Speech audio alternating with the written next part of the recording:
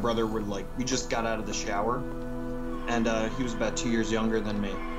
And while my mom was like taking care of him because he's like tiny, I was like in the living room drying off watching TV.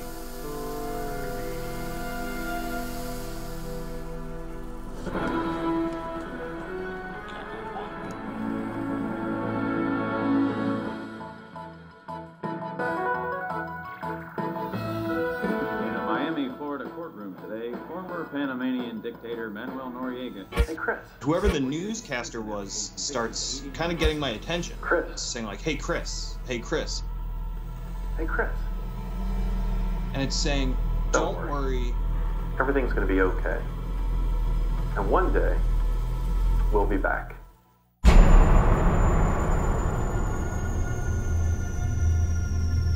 It terrified me. I remember screaming to get my mom, bringing her to the TV, who now was back to doing like normal newscasting, because that's, you know, what it was. And her basically explaining to me, like, TVs don't talk to you. That's ridiculous. I'm disenchanted because now I thought something really cool happened, and that's not a thing. I remember, I know it was there. Um, and you know, I was I was wide awake. I had literally just gotten out of shower, and it was this very overwhelming experience for me because now, as a five-year-old, I I didn't know where I belonged.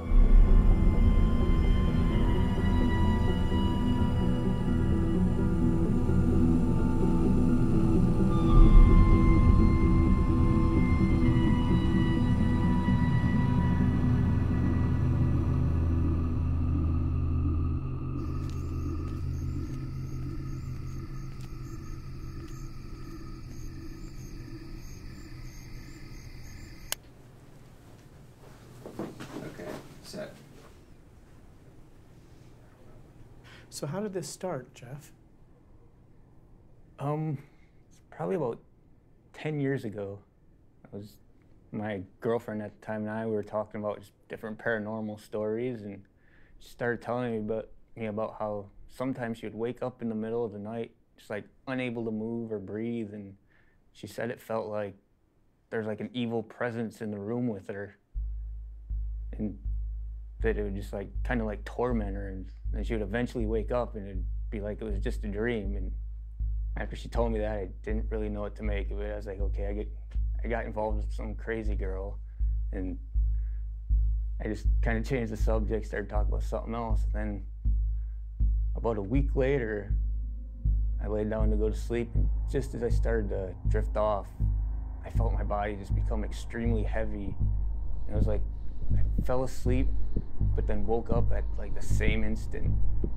And my whole body started tingling, felt like really weighted down, like something was pulling me. And I heard this like sound. It wasn't like outside of my head, but it was just like inside of my head. It just sounded like a wash machine, just kind of like out of balance or something, just like banging against the wall, and just really terrified me.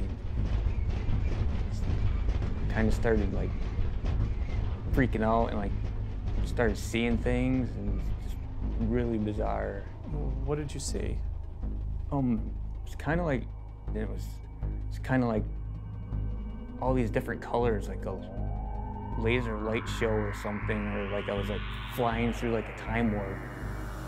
I just had all these like colors just like shooting at me and lights and stuff.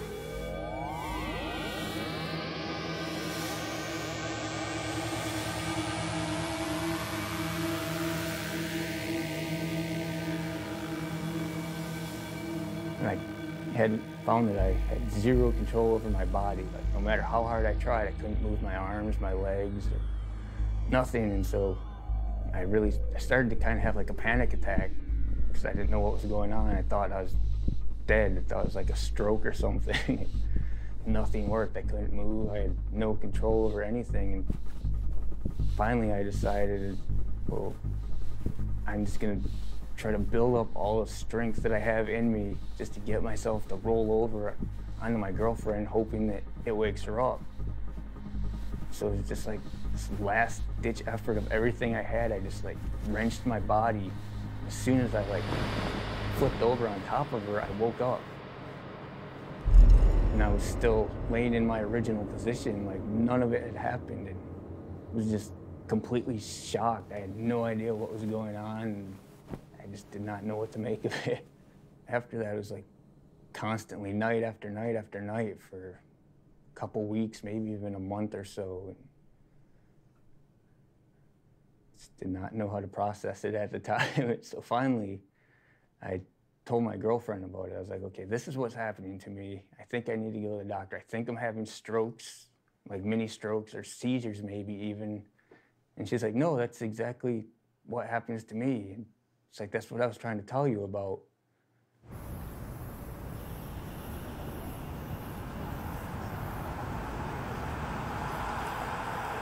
I was about uh, 29 years old. And here in this room, um, as I would lay down to sleep, I'd start feeling tingling in my feet, and then it, I would feel it rise up my legs, up my torso, and my hands. And I'd also hear buzzing, you know, like bees buzzing. That's when these episodes would start. I would feel tingling, and I would get numb. I feel the energy. I felt that my mind was awake, but my body was stiff. I tried to move my head from side to side. I just I couldn't move.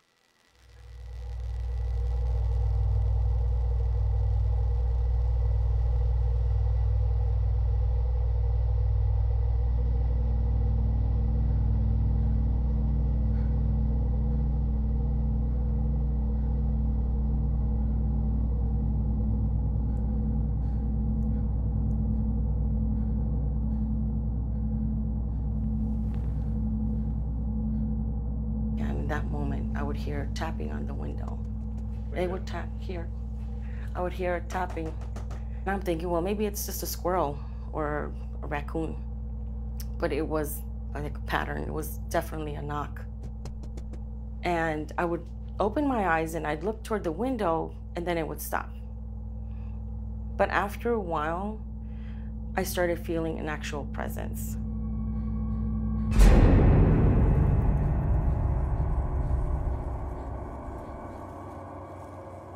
And I would feel this presence right next to me trying to take my soul out. It would torture me at night, and I would try and fight it. But I felt I was, my body felt paralyzed. It was just so strong that I would just let go. And then I'd feel myself floating in the air, and I could try and see myself, but I would just see a blur. Um, and it happened for many years. And um, when I was pregnant with my daughter, and I felt the baby as well trying to come out, but I was trying to fight it, and I was saying no, no. So I would pull back. It's like if I would pull back, and it would pull, you know, the other way.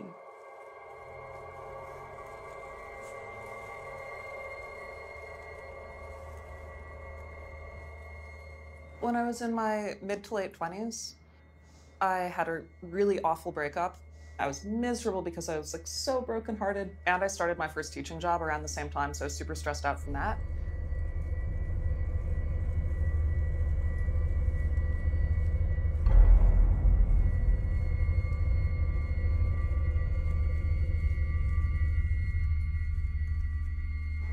I would just see this like dark figure by the bookshelves and I like could not move, and it was fucking terrifying. I didn't know what was happening. I did think that somebody had broken into my apartment at first because at that point, my roommate and I lived um, at a roommate then. Like we lived on Fourth Street, and we were on the top floor of the building. And our building was really easy to get into. Like the door in from the balcony to like our apartment didn't really lock, and I was so I think I was like, oh fuck, somebody actually broke in. To be lying there and like, no, I want to move, and I'm trying to move, and I cannot.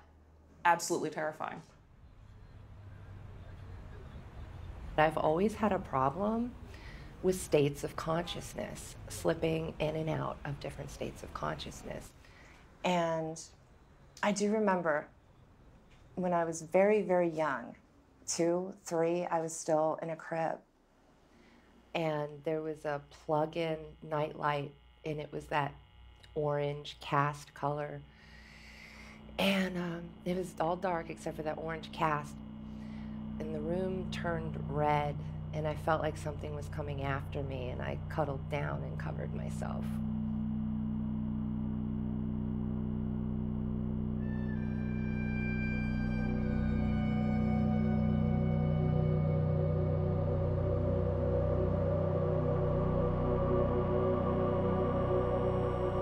It was my earliest memory of the scariness that happened to me and continued to happen. Laying down to go to sleep, I would feel utterly exhausted, almost as if I had just been drugged. I mean, you know, having been in the hospital, I understand what that's like. It's just like I had been injected. And my eyes sealed shut, my mouth sealed shut, and it's as if everything was shutting down except for my awareness, my consciousness. And then I could feel a vibration. Um, sometimes it was so intense it felt like being electrocuted, but it was definitely an electrical vibration. I began hearing voices and screams and crying and all of this really emotional drama, yelling to crying, but all negative emotion, all of these different voices. And then that is when the shadow man would come toward me.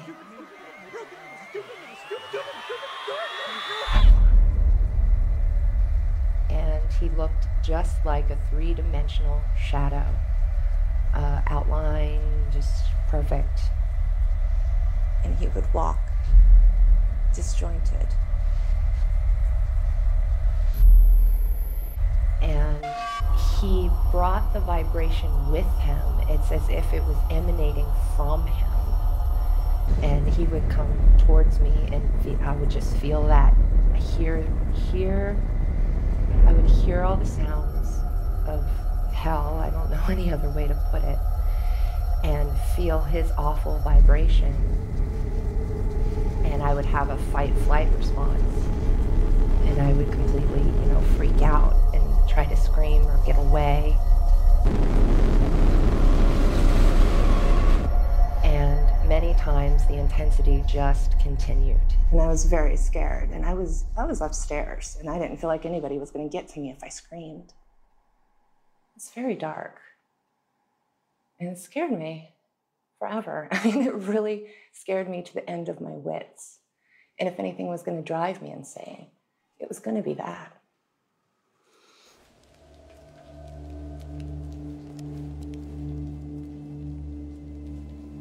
Uh, what happens is uh, when you're falling asleep that you'll get an electrical shock through your body just as you're falling asleep and uh, that indi- that's the usual indication that you're going to have a visit that night.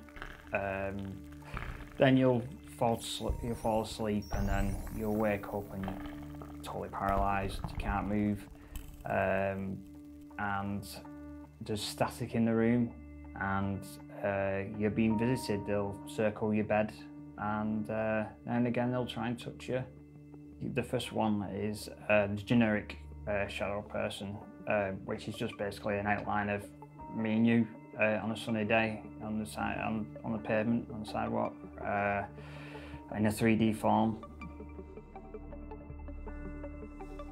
And the second um, the second entity, which uh, is the Hat Man, who seems to have a direct link to him. Um, he's he's a very authoritarian figure. Um, he's very menacing. He's uh, very he, he's in charge of them, uh, his minions, so to speak, and um, they're they're a team. It's hell.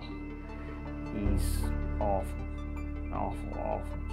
But it all starts with that electrical shock.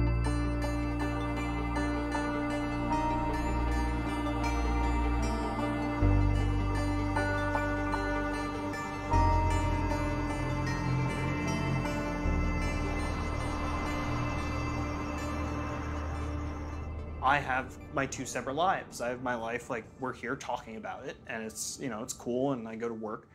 And then when I go to bed, I have this whole other life that I have to deal with. When it first started, it was pretty intermittent. It wasn't every day. Don't know the age, around this time. Um, my brother didn't live with us anymore, and I had my room all to myself now. And it's kind of funny because I can remember my bed had collapsed onto a box of beanie babies that my mom collected. My mom was a big collector. And so my bed kind of pivots, right? On top of this thing, there's a frame, and the bed pivoting. And uh, I remember the bed was pivoted in this particular night uh, with my feet closer to the ground and my head higher up like a seesaw. And I remember the paralysis starts and I can see the door frame. Like I can see like uh, I'm looking directly at, you know, I'm looking at a wall and the door is right here. So here's a bed, there's me, bam. Uh, straight forward, there's a door that exits, right? And there's the light from the hallway. And I remember seeing, you know, your traditional darkness, your, you know, everything kind of exists in shadows. I mean, all it all looks like it's moving. All the darkness looks alive.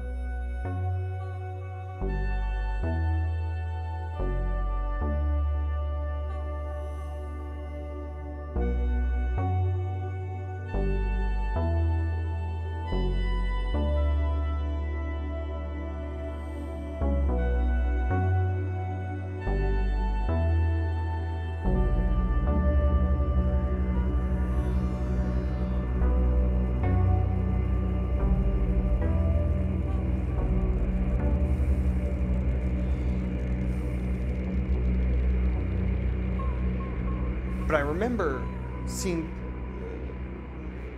people, beings, whatever, uh, just coming in.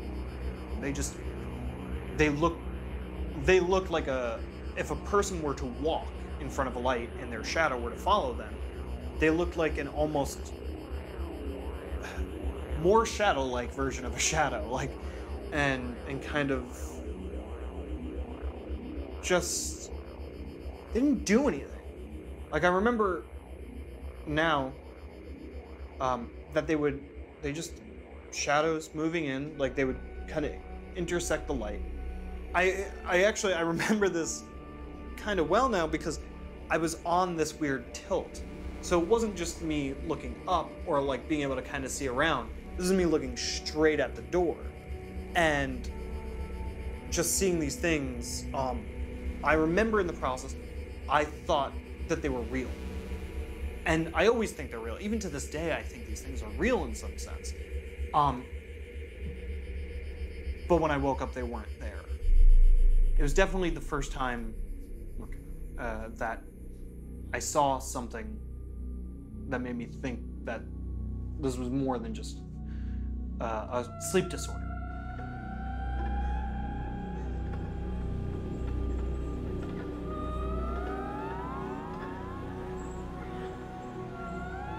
I do remember it happening as far back as when I was a little girl.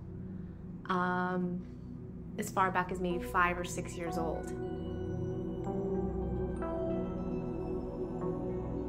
And then the same thing happened when I was about 15. During that time, I was a rebellious teenager. So I was really out of control and feeling like unloved and stuff. I don't know how I got that way, um, but it was kind of like a brokenness inside. Like I was just broken, spiritually broken. And that time I was in a two story home in Torrance, the city of Torrance. It was in the middle of the night, but I was wide awake. Like I was literally wide awake. My eyes were open, I could now feel this presence, this evil presence behind me. Lying on my side, like on my left side, I'm a side sleeper. Um, and then the door is behind me. And, um, and then I could feel the presence just right behind me. And I remember just trying to, wanting to move and turn around, but I could not lift a finger. Again, it was, I was just frozen, utterly in terror. And it was the, if I could describe what death would feel like, and it's a kind of horror that is worse than like in the movies. Um, it's, it's an icy cold, kind of dark, evil, something's in the room and it's watching me, that's the scary part. That it's you feel a sense that it's watching you. And it's and it's and it's making you feel afraid. And it wants you to feel afraid.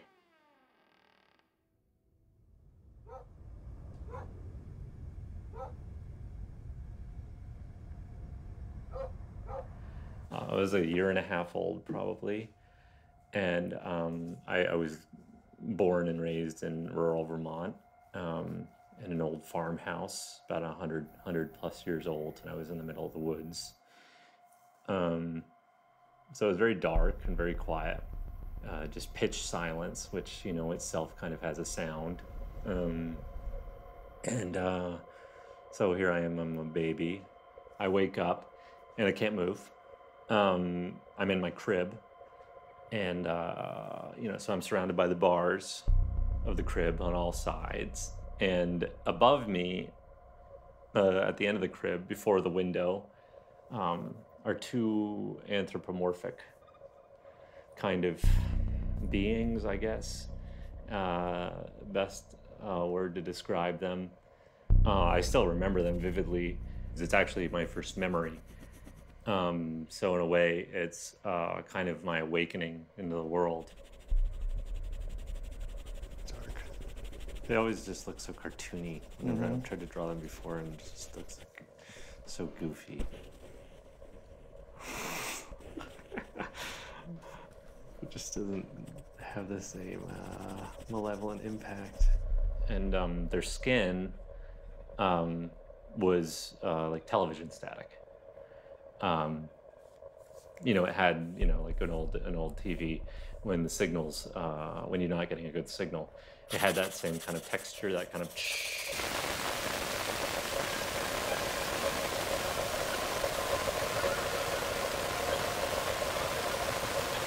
They were um, tall, kind of thin, these kind of thin limbs and these long uh, fingers and they had uh, these very simple faces, almost cartoonish faces of, uh, you know, these two inky eyes and this big, like, inky smile on their face. This kind of you know, tickling, tickling, tickling fingers. These like long, slender.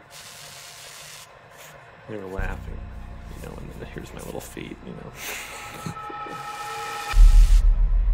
they were tickling me couldn't, you know, I was paralyzed. I couldn't move and I couldn't stop them.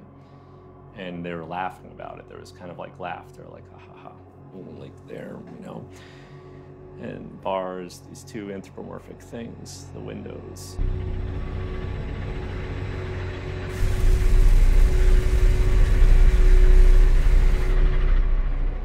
You know, according to my parents, um, but uh, I kept on repeating the word Zines like Z I N E S over and over again in like kind of a panic. Like kind of like signs, signs, signs, you know, like hanging on to them. And so maybe as a a child, you know, seeing these kind of anthropomorphic, sort of not human, but human uh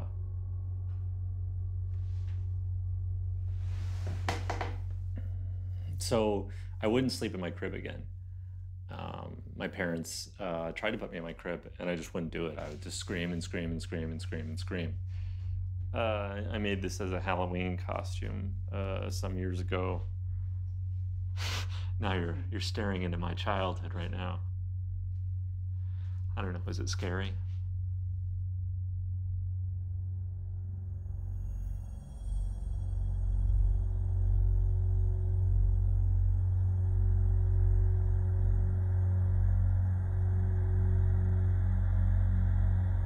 Seek any medical help?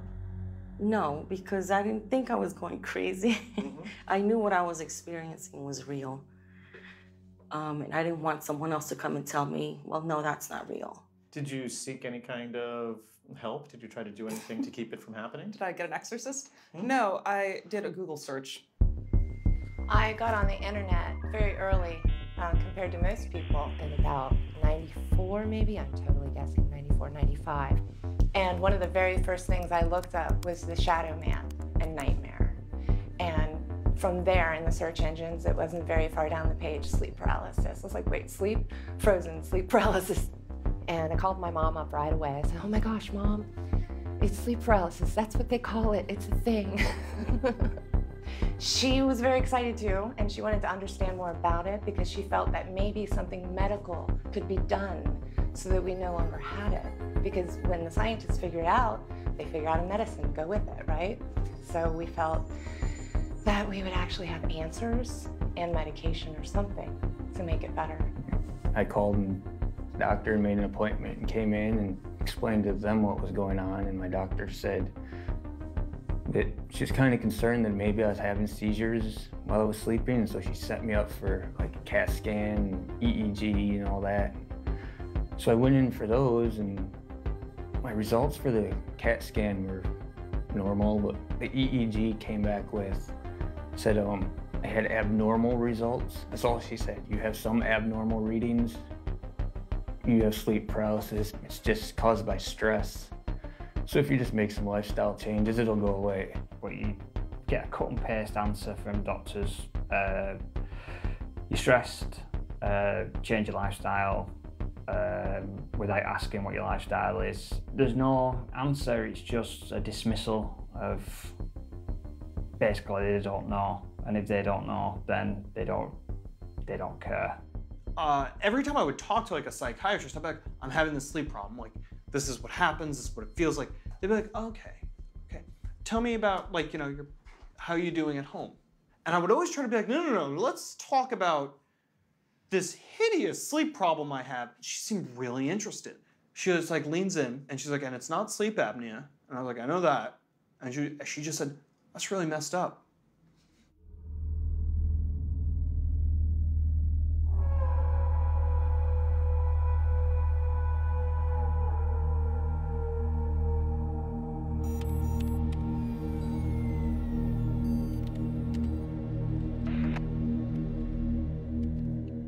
I remember like the like the following night after it would happen, I'd s- I'd lay in bed being so scared that it was going to happen again, and then most assuredly it would happen again because I was thinking about it Mhm. and obsessing about it. Like when I'd go through like the dry spells basically where I wasn't having it, if I started telling somebody about it, then it was like almost 100% guarantee that I was gonna have it that night. This is in our college apartment, Okay. So I was here.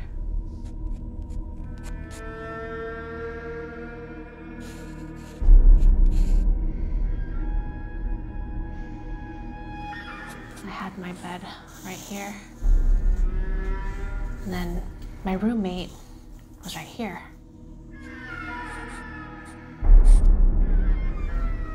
And the blobs, I saw these black blobs.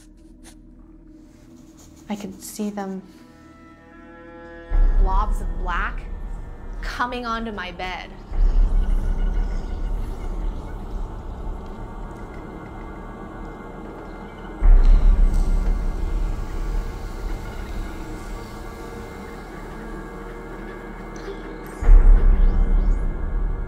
and I could see my roommate just in the corner over there. And I was trying to scream her name so that she could help me. And she's sleeping away, and I'm straining to talk, and nothing can come out.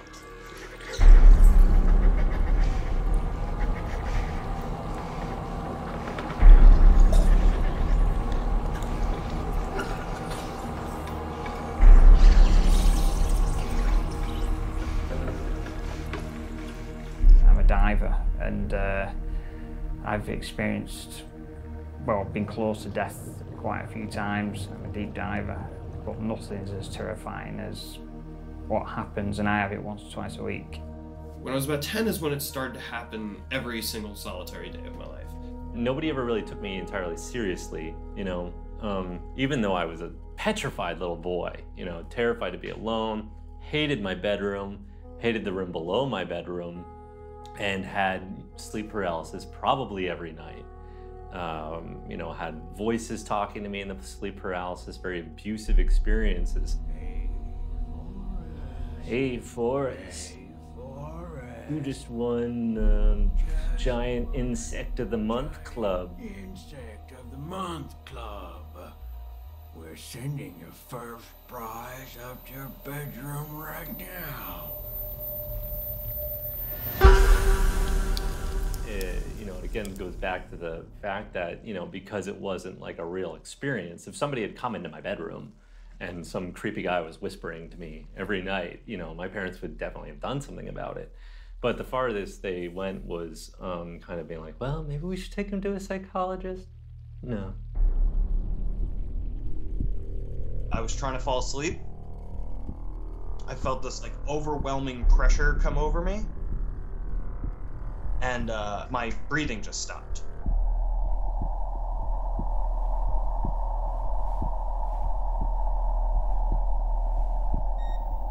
My body uh, was trying to kind of tell me, I'm going to kill myself now.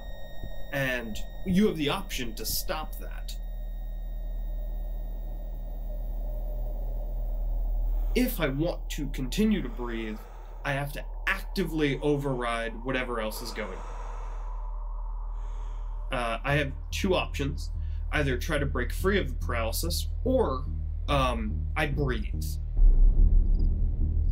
You know, that was that was kind of the beginning, and that was the beginning of me being afraid of not going to sleep, but you know, I would just pressure myself to wait till exhaustion to fall asleep for the most part, because uh, after that, it, it just never stopped.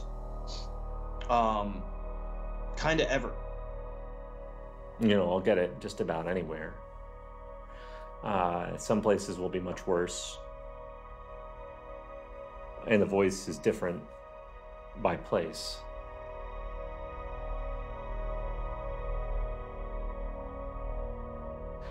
Um, I had I had an apartment in uh, Boston. I lived in Jamaica Plain in Boston for a while above pizza place, and I would always hear this middle-aged woman singing in a baby's voice there, like la la la, like diddly dong diddly dong. and just gradually faded away until I pretty much almost forgot I had ever experienced it. And I thought I was good, finally over. It was just a phase I was going through, and now it's done. One afternoon, I was up doing housework and was kind of tired, and I figured I'll lay down and take a nap because I'm gonna go with friends later on tonight. So I went, laid down, and set the alarm on my phone, checked all the time, and just like kind of threw it on the nightstand next to me, and just laid down. And as I started to fall asleep, I felt like this tingling sensation come over me. And since I had been dealing with it so long, it was kind of like a familiar feeling. It's like the warning sign, okay, sleep paralysis is about to happen. I would get like my body would tingle, start to feel heavy. I'd see just like all these pixelated colors. And so I sat myself up to wake myself up, kind of shake it off. And so then it felt like it went away. And so I just like, you know, looked at the, picked up my phone, looked at the time, okay. Laid back down and started going to sleep. And just as I fell asleep, my phone rang. And so I laid there for a second. It's like, do I answer? Don't I answer it? Just fell asleep, and now somebody's waking me up. So finally, I gave in and I answered. I grabbed my phone. Hello. When I did that, the person on the other end of the line said hello, and then they said something else I couldn't really make out because it was all staticky and cutting out. And I said, I can't understand you. You're breaking up. There's a bad connection. And they said, hello again, and it's like you're breaking up. I can't like hear you. And so finally, I trying to make out what they were saying and whatnot, and I decided uh, I'm up. I'm gonna go get a cigarette, you know. So I got up, talking to him like hello, hello, and then finally, you know, I walked out into the living room. And just as I got out in the living room, it became the connection cleared up and the person on the other end was just like this very pleasant man. And he was like, hello, I, I was wondering if you could do me a favor. What kind of favor?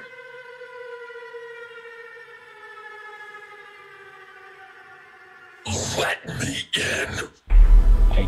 Freaked out, you know, I was like, there's a demon on the other end of my phone. I I want nothing to do with this. So I threw my phone across the room and it broke into pieces and then everything around me just like went into complete chaos. It was just like almost like an earthquake hit. It's like everything was shaking and dark. And my whole body started vibrating. Felt like something was trying to like rip me out of myself, kind of like pull my soul out. You know, just like trying to process this, like what's what's going on. You know, I'm just absolutely terrified. And so I, the, the only thing I could think to do is I just started praying. Know, I was like, God, if you're there, help me. You know, I, I don't know what's happening. Just please, somebody help me. And as soon as I said that, felt like somebody just grabbed me from behind, and just like yanked me back, like down the hall, and just like slammed me back into my body.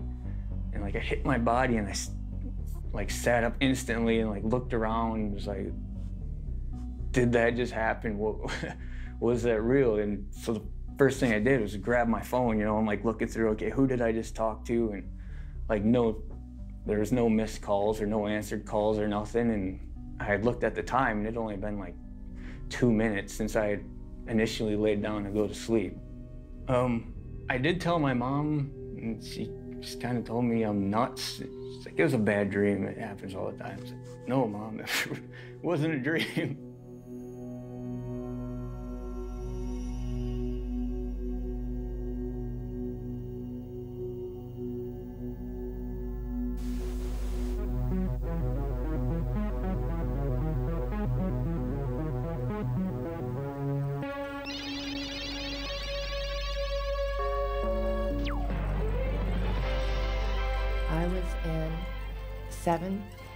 Grade, uh, 87 or 88.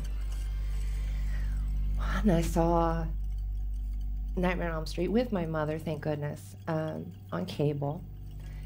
And she was like, "Oh my gosh, this this is like our dreams." I was like, "Yeah, I know." so we we definitely agreed on that. And I kept watching it because I wanted to find some clues, some answer to what was going on. And of course, they mention a little bit of myth in the movie, but not enough to really research. Did you ever read about the Balinese way of dreaming? No. They got this whole system they call dream skills. They get all their art and literature from dreams. Just wake up and write it down. Dream skills. What if they meet a monster in their dreams? Then what?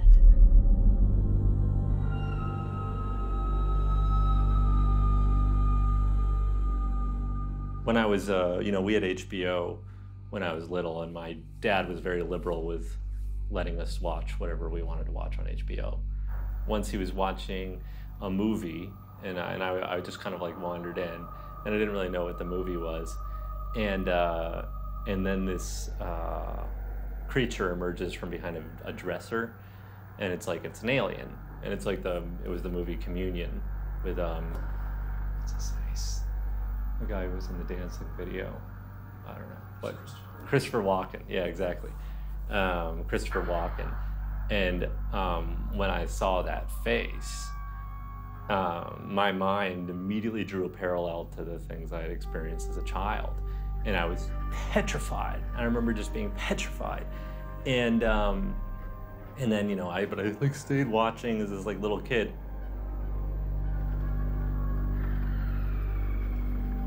And uh, you know, and these images I like remember as incredibly shocking images to me as a child, because it was the first time that the kind of things that I had seen aligned with something that that was known about or was explored.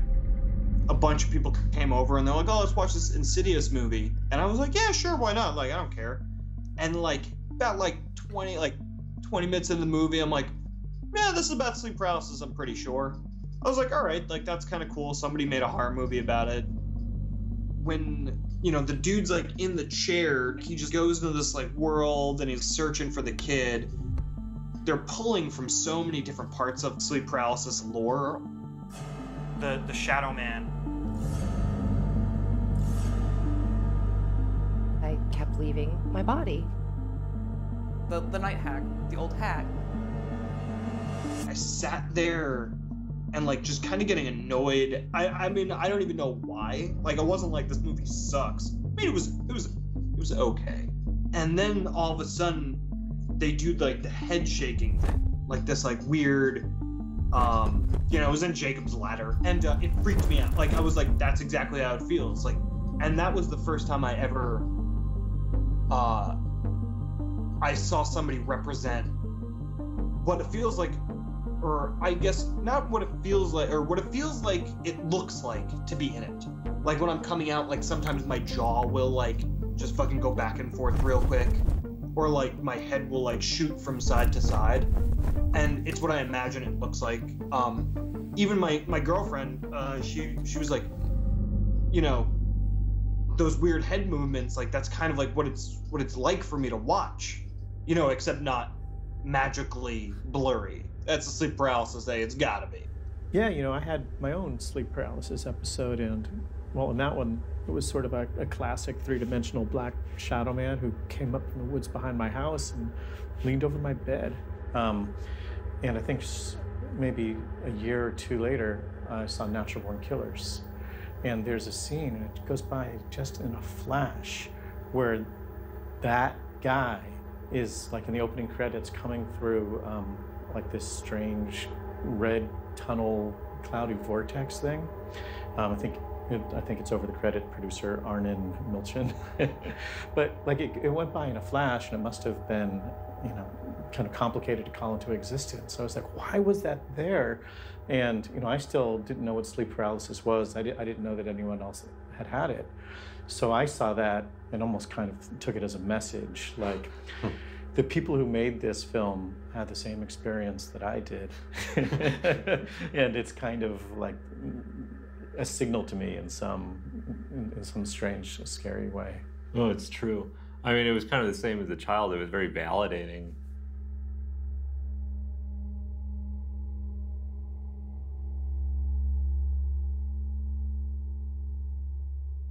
I, I never thought it was my mind playing tricks on me. I just knew something bad was always happening to me. And I, I didn't I didn't know what to do about it. I've prayed my whole life. I still pray. I'm a very spiritual person. However, prayer never made it go away. Even when I was within the attack, I would pray within the attack, and still no help. I started exercising, started eating better, cut back on caffeine and doing all that kind of stuff. And just no matter what I did, though, it was had absolutely no effect on the sleep paralysis, and it just kept happening like night after night after night. I finally decided to go to one of these ladies that read cards. And she says, I can't look into your house. I'm trying to look into your house, but uh, I see this black shadow over it. So I thought I was abducted by aliens for a long time. Years, years and years and years. Before I went to bed every night, I would lay in my bed and close my eyes and just pray, um, not tonight, not tonight, not tonight, not tonight, not tonight, not tonight, not tonight. And I would just repeat it over and over and over in my head as if I had some kind of psychic bond with my alien abductors and that I could communicate with them telepathically and just plead with them to make tonight not the night that they would come back and do that to me.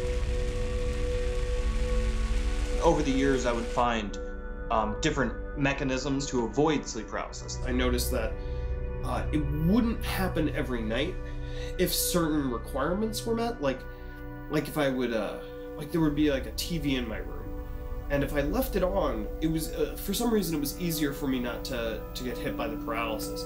And you know, younger me thought it was like maybe that little high pitched noise TVs make when you leave them on, and so I would leave it on overnight on mute uh, for that little high pitched noise. Um, eventually, that stopped working after about a year. So I decided, like, you know what? If one TV worked, what about two? And I used to like collect junk, so TVs were like a plentiful, and two worked for a little while, and um, I just sort of escalated with that for a while. I I'm, I'm pretty smart apparently. Um, no, it made me look like a crazy person until one day I realized that even if this was a problem, this was not the functional way of like dealing with it. So I just I removed all the TVs at that point from my room and you know, all it did was leave me with a much stronger and more elaborate sleep paralysis. Uh, and and that's kind of the thing that I've realized is if you have it every day and you have multiple episodes a day, it will kind of learn how to adapt to you. Like if you try to like avoid it, it will find you and it will it will make it happen somehow.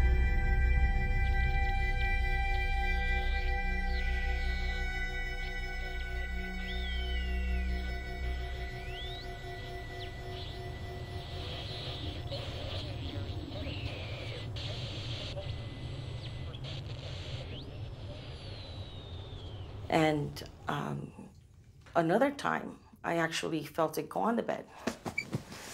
You know, as if it's climbing up. I was laying there and it came here. I just closed my eyes.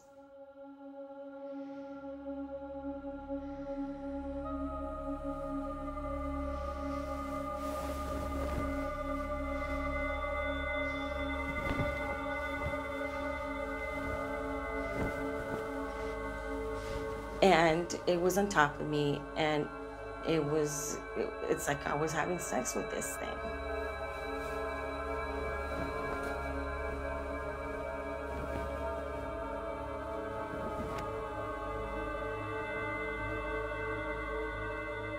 And I said, "Oh my God, this is this can't be real.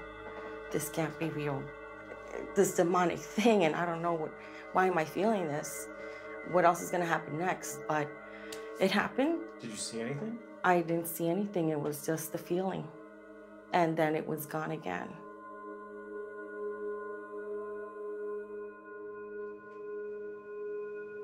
a lot of firsts all happened in one night. When the pain started happening, the hallucinations got more vivid, and I started to be able to be interacted with.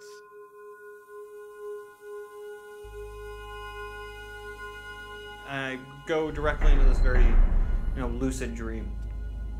I remember it's uh, the architecture of this world or this dream.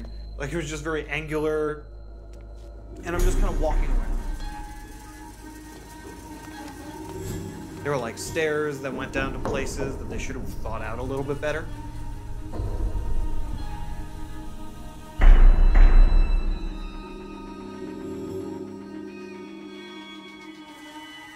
As I'm walking around, I remember um, a kid that I was friends with growing up uh, in elementary school. My only friend from elementary school. He comes up to me. His name was Danny, and behind him is this gigantic dude with um, really crazy orange hair. And Danny says, This is him. Uh, can I go now? And he just leaves the guy with me.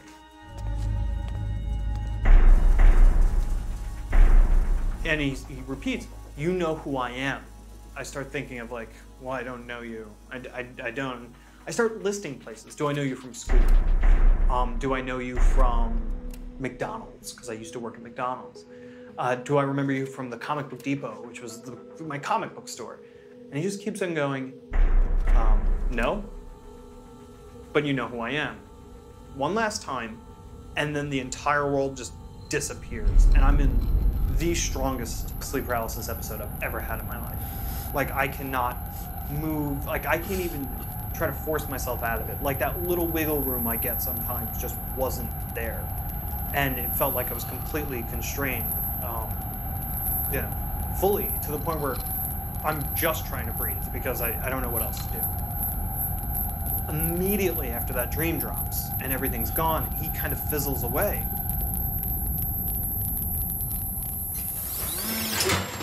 And this is the first experience with pain. If I had to describe it, picture like a claw machine game. You know, three three little things. And that's when the pain starts coming in.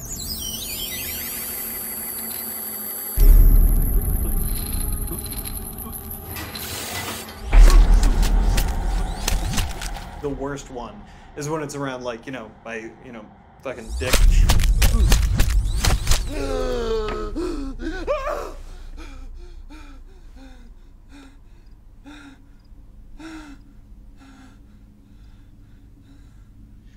And I still felt the pain after I woke up.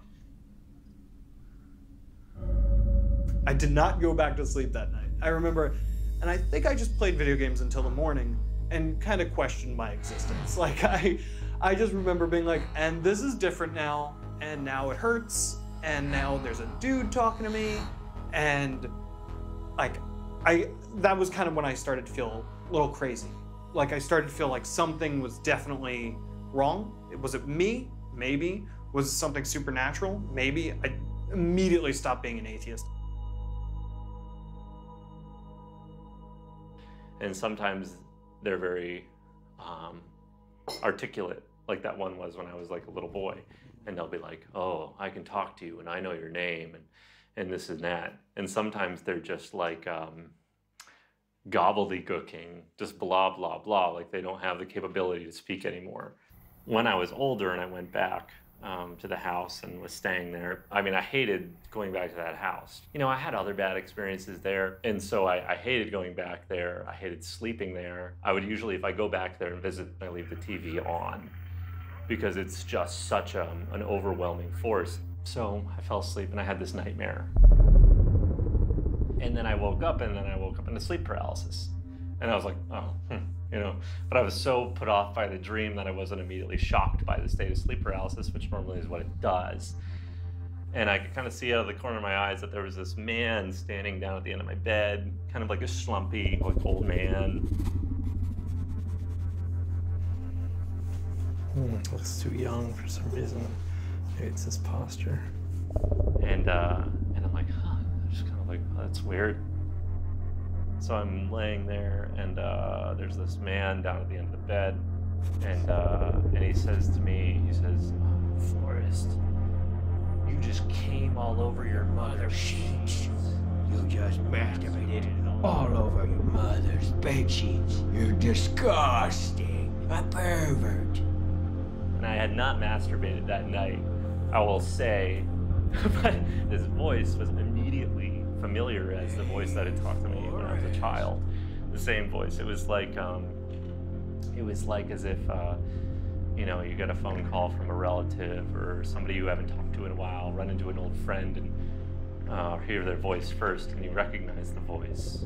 It's, you haven't heard it in a long time, but you know it, and it's that person. And when I had that experience, I'm like, oh, it's that voice, that that man. I've seen him like two or three more times in that physical incarnation. But I've also had like times where I've seen people that have approached me the same way and I felt like yes, that's him. Like I like, it was a different body, but it was that same entity that was talking to me. We had a friend staying over. Like we had we had like people over that night and we had like a one bedroom tiny apartment. So like we were all like kind of crammed into my bed. and uh, I remember I had um, gone to sleep. You know, the two girls they were they were asleep. You know, they were they were out like a light. Almost immediately the paralysis hits. Normal paralysis. Completely normal. You know, situation like stereotypical dark room.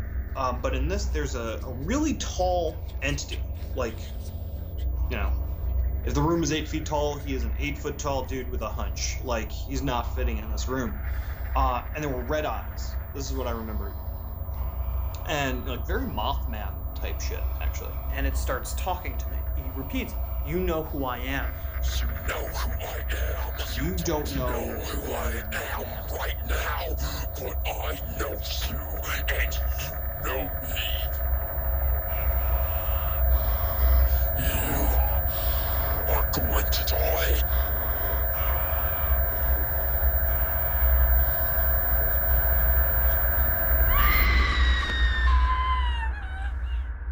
I just had this horrible experience, you know, and you know I believed it. I believed that this thing was telling me I was, it was going to kill me.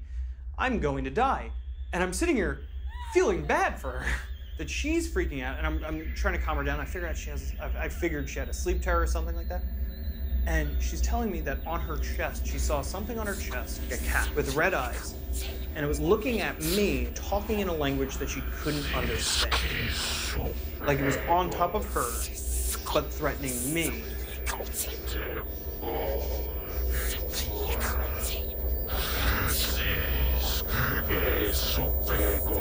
And the second she said it had red eyes, I just like fucking freaked out. Like I was just, I like, I remember this was during a time in my life where I was like, maybe I'm crazy, maybe you know it's fine. And then this happened, and then it immediately affirmed I thought I was gonna be dead. Like I just, I was like, oh, I'm, I'm going to die. And like shit like that immediately makes me want to be like, fuck like regular life. Like sorry about the language. When things like that happen, it's very hard for me to be like yeah, I'm just gonna go get a normal job and like live my life. Like I'm like, I wanna figure this out.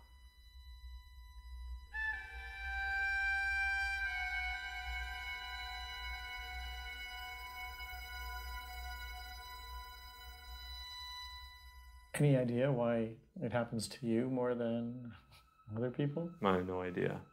I mean, I guess, eh, you know, it's all just presumption, but you know, could assume that maybe it had something to do with being such a young child, you know, and having such a profound experience. You know, it's kind of like when you, when you uh, see something for the first time, you know what it is.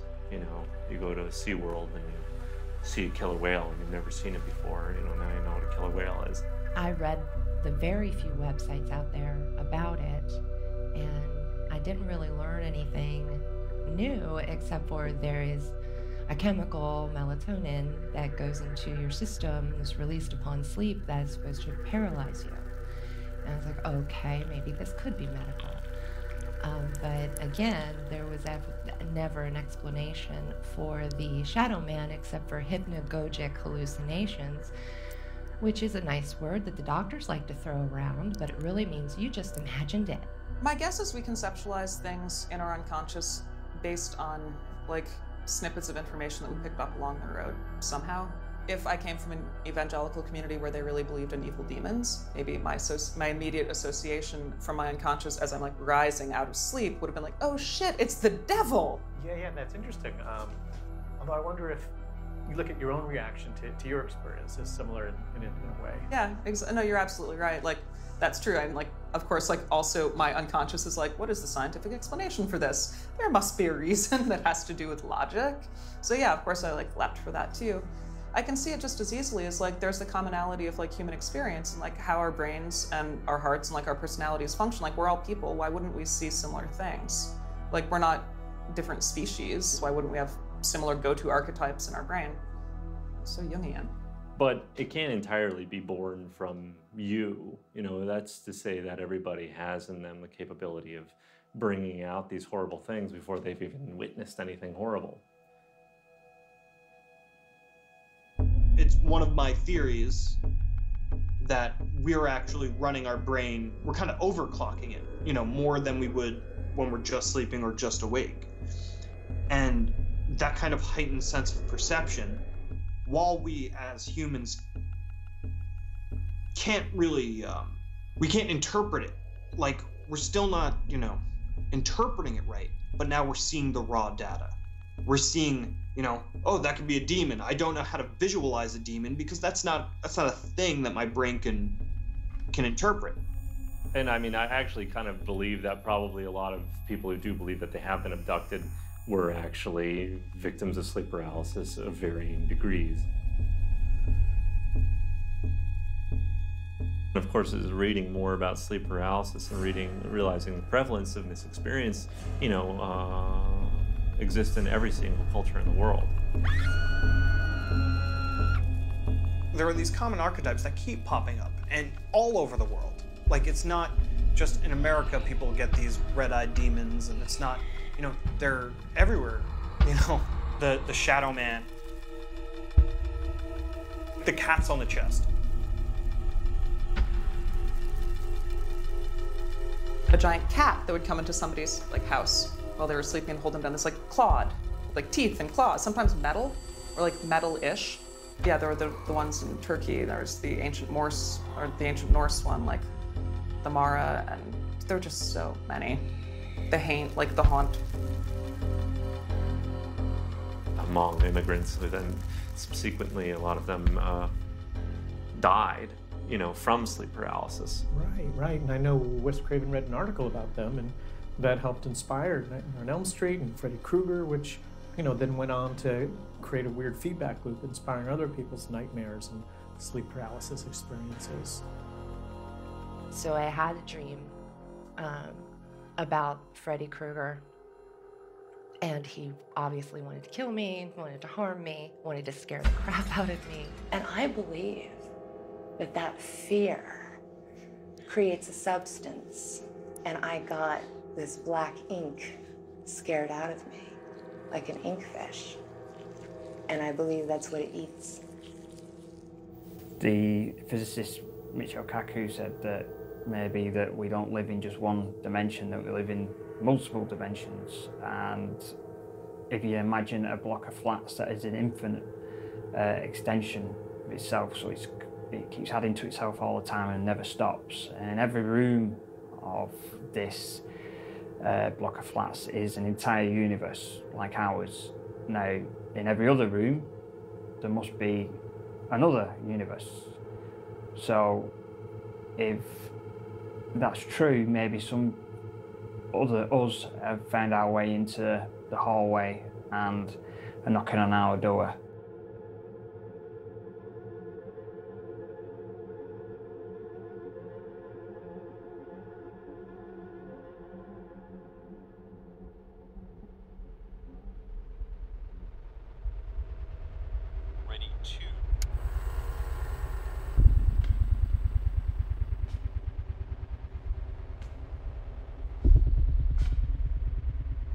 Right after my mom died, I was very depressed.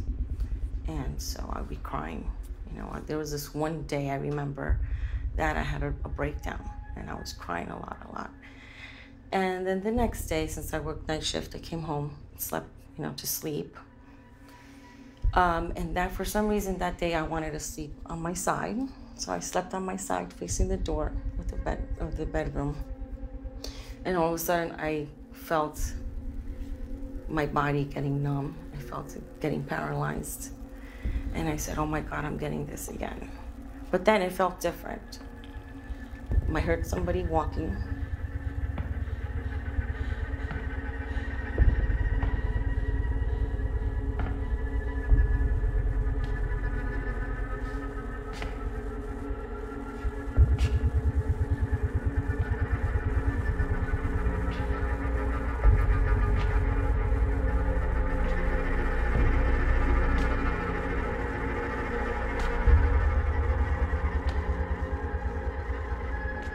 This presence came around and it came behind me. I was like this. It came behind me and it hugged me. And I heard the mattress depress also. I heard that depress, like someone went in the bed. And I felt it was my mother. And I heard her voice and she says, honey, I'm here. I'm here.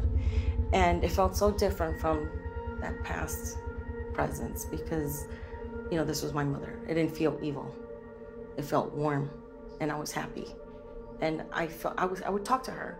It's like through my mind, I said, "Oh, mommy, it's you. Oh my God, I, you know." And she's she's hugging me tight, saying, "I'm here. I'm here." And that was just a matter of seconds. All Also, and then she was gone. So I really, you know, I think it's my mom that um, comes to visit us. Does that ha- does that still happen? It it happened like two or three times because even though I feel it's her, there's a part of me that sometimes says, What if it's this thing? Um, because sometimes when I have felt her, all of a sudden then it kind of switches. And then I do feel like if there's another presence. And then I don't know if it's this thing again that used to haunt me back then, or if it is still her, even though it does feel different. I, I could tell the difference in both of them. And I have said, Who are you? But of course, I don't get an answer. And then it just lasts a few seconds and it's gone.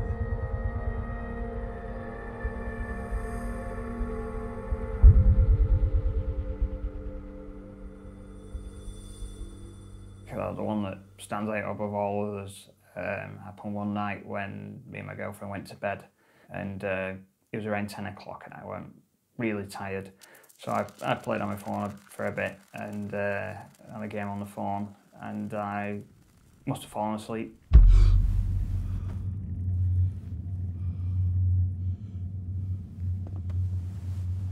When I woke up, I stood outside of my bed in a very oppressive atmosphere. Uh, I can't describe the atmosphere to you unless you were there. I mean, it, it, I've never experienced it before, and I've never experienced it again like that. It's a kind of a very staticky, uh, just present presence of evil. And as I turn to my left, I see my girlfriend in bed, and I see me in bed. And now I'm confused, but I also see my eyes open. And then I heard myself laboured breathing, which is what I do when I have a sleep paralysis attack.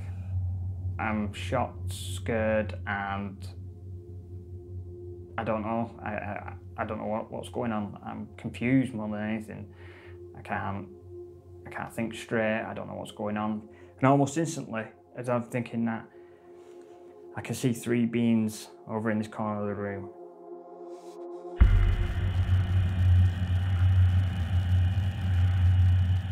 There's no looking me up and down and seeing who I am and what I'm doing there. They, the two generic shadow people advance on me straight away. A grapple ensued between me and them.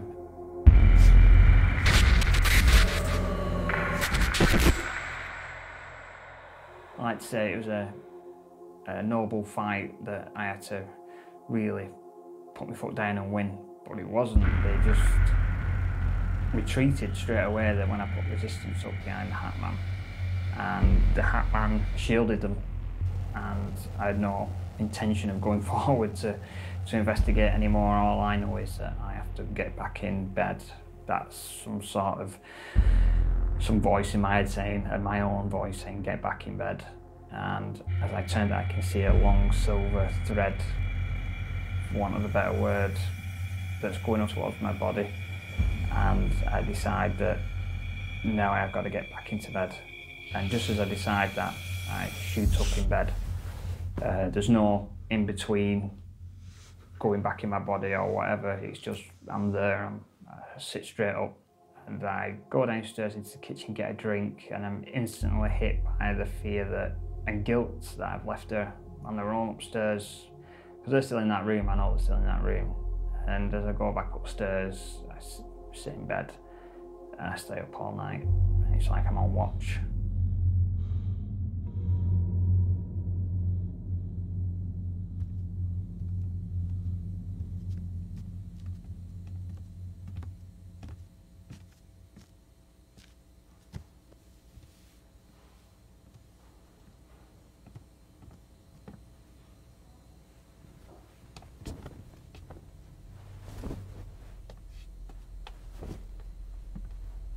They just wanted me really bad. I remember I was just sort of laying in my bed, and then there's now a loud noise. And I, I hate the sound of the noise. It's like almost like um, like spirits or demons, like kind of like screaming at you. Um, so then you hear like a, it's almost like a buzzing that starts, and then I can sense a presence right, like standing over me, just standing right here next to me on my bed, standing over me. Then you hear like this sound. It's like, it feels like somebody's screaming right in your ear. Um, like they're right here and they're screaming.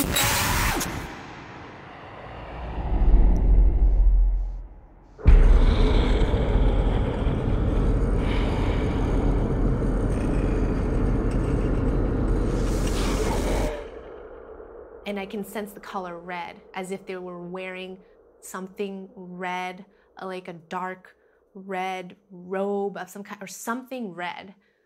And I, tr- I tried to look at the face, but I, I couldn't. Like every inch, every centimeter feels like a ton. And so I'm trying to move and I want to see it and I'm looking, I'm like straining to look up, straining to look up. I, I could I, I could barely move my head. It was almost like going like this, like. Uh, um, and then I, I think I said something. I said I just said I remember this guy. His name is Jesus, and I'm gonna use his name right now, and I'm gonna say just in Jesus' name, you know, you get out, or said, I said something to that effect.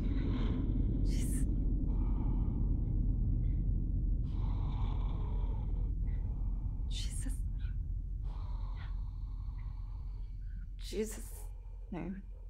In Jesus' name. Get out. And I, f- I suddenly sensed that the demons or the, the thing that was happening to me, that evil presence, just left, gone. Um, and it was amazing. It was like a feeling of victory. Yeah. When they never came back? They never came back. I wasn't even a Christian then. I actually abhor- abhorred um, religion. I didn't want some lady a long time ago told me I should marry a Christian man, and I just laughed in her face. Anyways, um, I learned very late in my life that the name of Jesus has power, and that's how I became a Christian. So, um, does do you not um, do you not believe in the uh, Wikipedia definition of sleep paralysis? No, um, that would be sort of like the, I guess the, the worldly term, Uh-huh. like what people would deem as something that's a physiological uh, response, that it's like a natural thing that happens with the body, but I don't think that's true.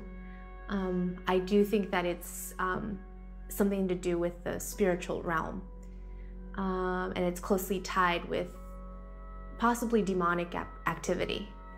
At 33 years old, I don't think it's going to get any better for me. Um, I've experienced it most of my life, if not all of my life.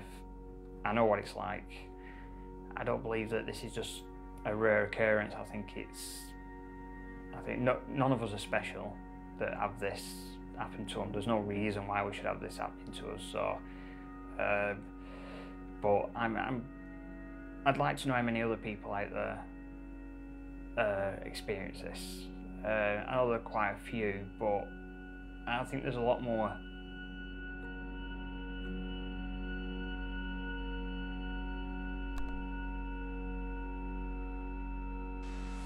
Hey everybody, it's Connie here, aka Phoenix Rising 11. Thank you for joining me. Um, I first want to start out by saying that I'm about to tell you a very personal story, and if you get weirded out easily or you're not that open minded, So you made a pretty powerful YouTube video about your experience. Do you watch a lot of other people's uh, sleep paralysis videos? I don't I don't really like to listen. Um, I haven't seen a lot of other people's sleep paralysis um, Mhm. videos. Although people do send me their stuff, I, I just am not in a place to want to listen to that kind of stuff anymore. I don't know why. I feel like it's just it's like kind of like that's the past. Um, and I'm not in that space anymore. That I, you know, I found faith and I, I met my husband and I never thought I'd get married and So you're actually trying not to think too much about sleep paralysis anymore, Yeah. despite. Yeah, I mean, why? Yeah. For what? You know. Um,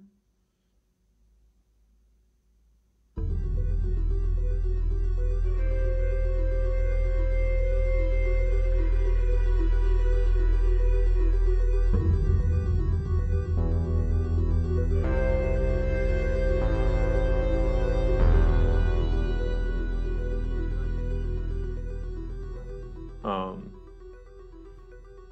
I was uh, dating a girl. Was pretty crazy. She was kind of like really into being very naturey, not like a hippie, but kind of like a crazy wood spirit nymph thing. it was kind of her her vibe. You know, all her clothes were like stitched together. Like she was crazy. She would do things like say.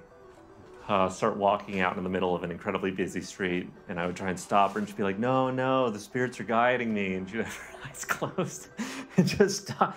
I can't believe she was survived. So she was definitely on the cusp of something. So was I. I mean, we were both really living in the fringes of sanity at that time. And uh, we went up to uh, a cabin uh, that my dad has in the Bay of Fundy in Canada. And we were walking out in the woods, and uh, it was getting dark and it was kind of dusk. So she um, said, Let, "Let's build a stone circle," you know, because we had just gone to a pebble beach. So we took our pebbles and we laid them all down. And then um, we decided to be receptive. You know what that means.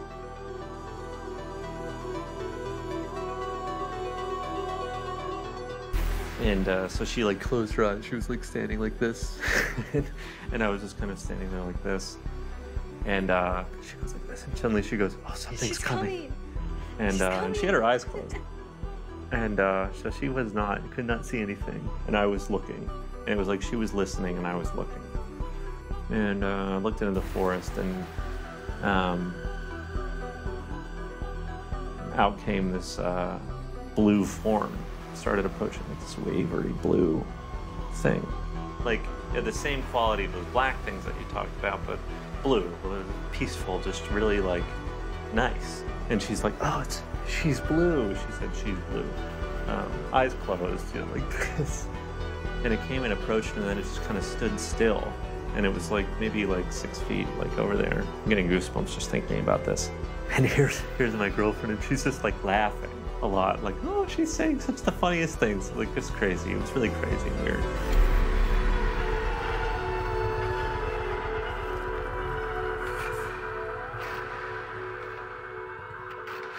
And she goes, oh, she says, not, to be worried about, the demons, behind, you. and and I was like, what? And I like turned around and I saw them.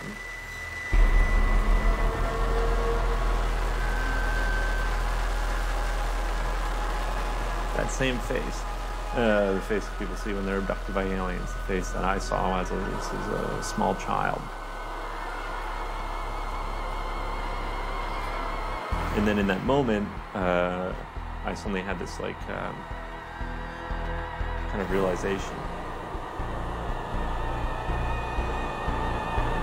Because it wasn't like linguistic. I didn't hear anybody talking to me, but I heard, I, like felt a thought in my head, something external, and it was all about how um, uh, fear empowers bad things.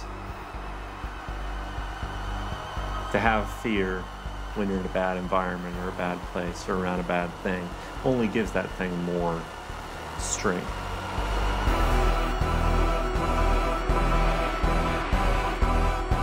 What that kind of made me sort of begin to realize is that, you know, here I'm hearing these voices and these are disembodied, confused, schizophrenic ghosts, you know. Um, yeah, those are people. Maybe they're dead, maybe they're alive, maybe they're not. I don't know.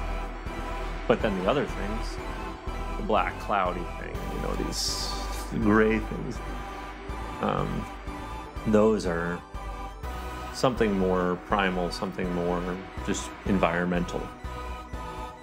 And when I kind of came to that realization, I'm like, well, why does it have to be any one thing? And shortly thereafter, the the blue spirit uh, dissipated into the woods, and um, then we went back to, you know, the cabin, and that was that. You're talking about something that happens at the absolute edges of like dreaming. Like you can't explain dreams, you can't explain them logically. They're all like little bits and pieces that come up from your unconsciousness and from like things that you've experienced and who knows how like the sleeping mind puts things together and now you're talking about an experience that happens like in that in between stage. It's so liminal. You can't put logic onto liminal situations. I need you to also understand that I was in an abusive household. I believe because I was beaten so much during the day that at night my soul had to heal to keep me here. That's why I had to get through the fourth dimension. And that's why I had to go somewhere else to be healed so that I could come back and deal with my life. I knew absolutely nothing about sleep paralysis until I was told about it. And then I, like, almost instantly began experiencing it. I don't believe, like, the medical explanation to it, the physiological stuff. It's just a sleep disorder. Uh, there's got to be way more to it. Like, I told my one friend about it one night, just talking. I was like, Have you ever heard of sleep paralysis? She's like, No. And so I kind of shared my experience. And then, like, the next day, she's texted me. She's like, I hate you. I hate you. Whatever you were telling me about happening to you, now it's starting to happen to me.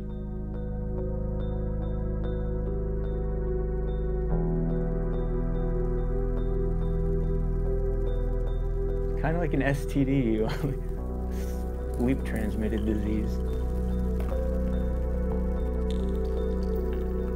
There was an experience during this time that I actually did think I died.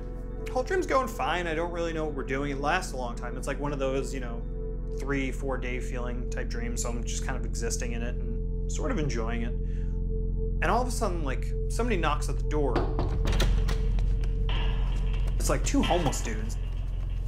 And they're trying to get in, and I'm trying to tell them, that, like, listen, it's we're capacity. At capacity for homeless people in my weird dream town. there's a, a guy on rollerblades in the background. Very 90s.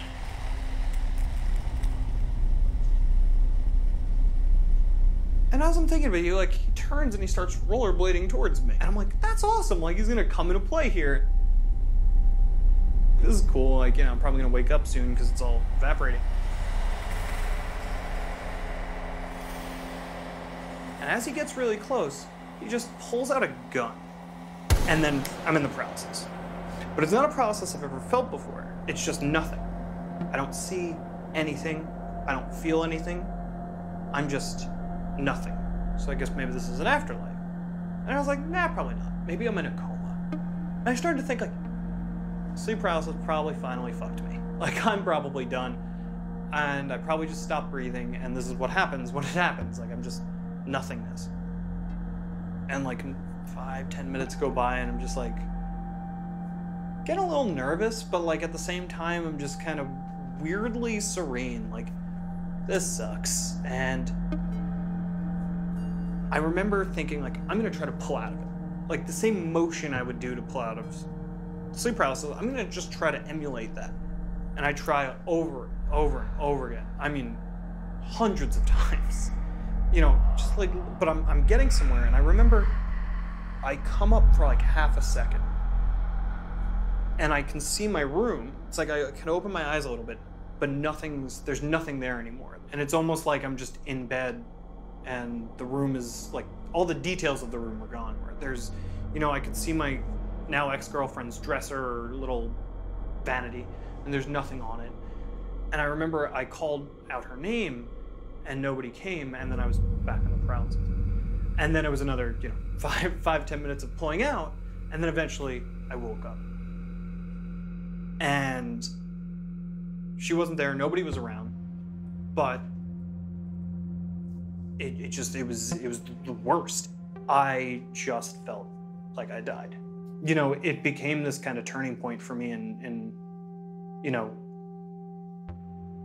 I just I how I saw all this. And I definitely didn't want that to happen ever again. So how did that change your the, the way you saw all this? It just it whereas before I felt like I was maybe you know, learning and exploring and it was like kind of fun. Uh, it stopped being fun. Like it's not like I get to, you know, like people talk about astral projection and all these like fucking awesome sounding things, like how they get to fly around and and you know, I don't know, do cool things. And I don't get that. I don't get you know those. I just get these weird experiences where I feel like for a second I can see something that most people can't. Like there's what we see in the world, and right behind it, you know, almost like it's like everything's cellophane wrapped or something. And for for half a second, that that like wrapper's gone, and I could see or perceive uh, something a little bit more real, or whatever real is, um, and then it's gone. But I can see it for that half a second, and so, like, no matter what fear or pain comes along with it, I at least get this experience where, even if it's in my head, it's made something interesting. It's it's something that I can pull from that makes my life uh, almost kind of worth it. You know, which is you know for a long time something uh, I don't feel like I've ever had, and it's it's gonna probably just keep getting worse. And I truly believe that one day it will be the reason why, like, one day I don't wake up, and one day I'm just you know, I don't breathe, I can't control the breathing, and it's done. And I feel terrible for whoever I'm dating or married to when that happens, um, but I'm kind of ready for that now. Chris. Hey, Chris. You know, I'm ready for that to be, you know, just kind of what happens to me. Uh, but I would like to figure out a lot more about this uh, before that happens and it's also made me feel very comfortable with the idea.